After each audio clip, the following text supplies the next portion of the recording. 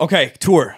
Tour. You're going on tour with Dylan Scott, which Yep. is sick. Um, and your first stop, it looks like, is October 12th Yes, sir. in Knoxville. Shout out Go Vols. I don't know what screen we're looking at. Go Vols. Uh, do you know where you're playing at yet in Knoxville? I do. I do not actually. I Okay. everyone always asks me like the venues that I'm playing in each city, and I'm like, I have no idea, man. I'm just like I'm just told to be there. I show, up, and then we just go for it. Yeah, I don't know the venue actually. Are, are you? Do you know if you're playing at like? I know you said you don't know the venue, but are, are these around all the college towns, or are they downtown of the cities? Do we know anything Um, like that? Uh, John, you know some of them, don't you? It's All they're, over the they're all over the place, man. Yeah, it's a couple of college towns. Mm-hmm. Cool.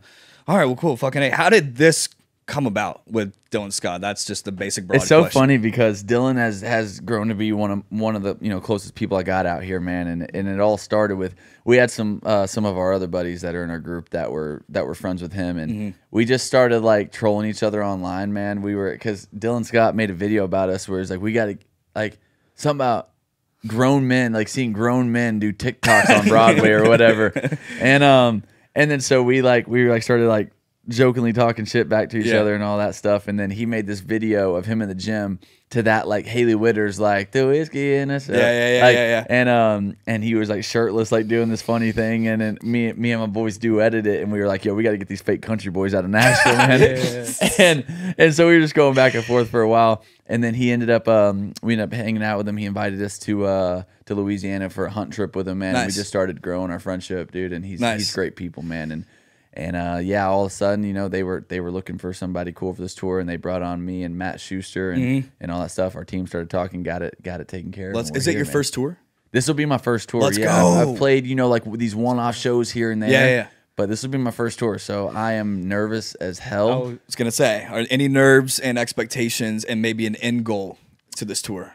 dude um there's so many nerves going Yeah. through my head man you know because i'm also everyone's always like oh like i wouldn't think that you would be a nervous person because you're so public like Mm-hmm. with your life and all and i'm like honestly that's the exact reason as to why i'm nervous because the world is such a cruel like mean place you know what i mean and Yeah. and uh, I, I came from I'm coming from this TikTok world, man, and, and I didn't blow up exactly from being an artist and, and all that. So it's it's really hard to earn that respect, you know, Yeah. and let alone get people to believe it and all that. But I mean, we've been doing great.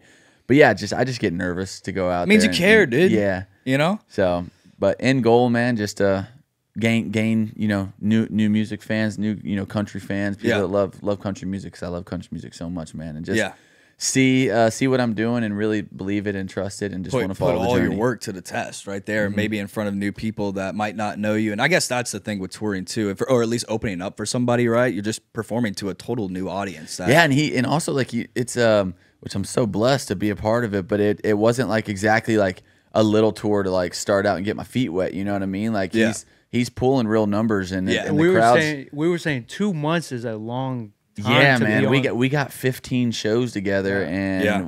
you know he's doing let's go. a couple thousand a So you're gonna be sleeping so- on that damn bus, or Yeah, what, dude. We're All right. well, we get we're trying to get our own bus right now and all that, so we can figure it out. What's I- what, what what's the bad talk the bag talking about on this tour, dude? Is that why people go on tour? Do artists make the most money when they go on tour? Dude, is that what's going on? What's the It- bag? Okay, dude? so I'm gonna be honest with you guys, man. You lose a lot more money than you think in this stuff, Really? man. uh, Until you start really making it. You know what I mean? Like, Mm-hmm. like Dylan's making money for sure on this, right? Yeah. But like, you know, as an opener, I'm a first opener, and they're they're helping me out a lot more than like I. I mean.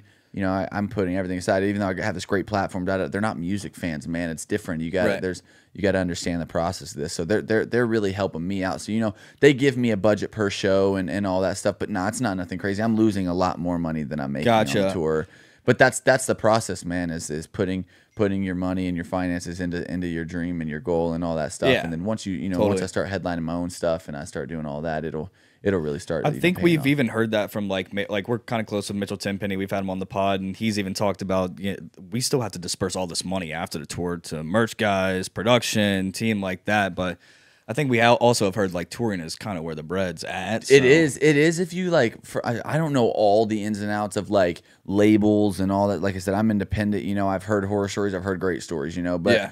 Uh, you know, if you own your tours, then yeah, you make a lot more money. But like Yeah. usually, whenever the labels own it, you don't really make that much. Like Right. But um, As a first opener, are you selling any type of merch or anything yeah, yeah. like so that? I get Okay. the so so that's one thing that Dylan was really really cool about. Usually, like whenever you're opening for people, they only let you have like one piece, but he's let me have three. wow. so, hey, so that's three really different awesome, designs. man. Are they all shirts? Or you got a couple I hats? think or we're gonna I think we're gonna do a mix of stuff, so it'll be cool. Gotta get some, Um, get some of those hats. man. yeah, dude. Now we'll get you. We'll get Yeah, you some whenever y'all come out, man.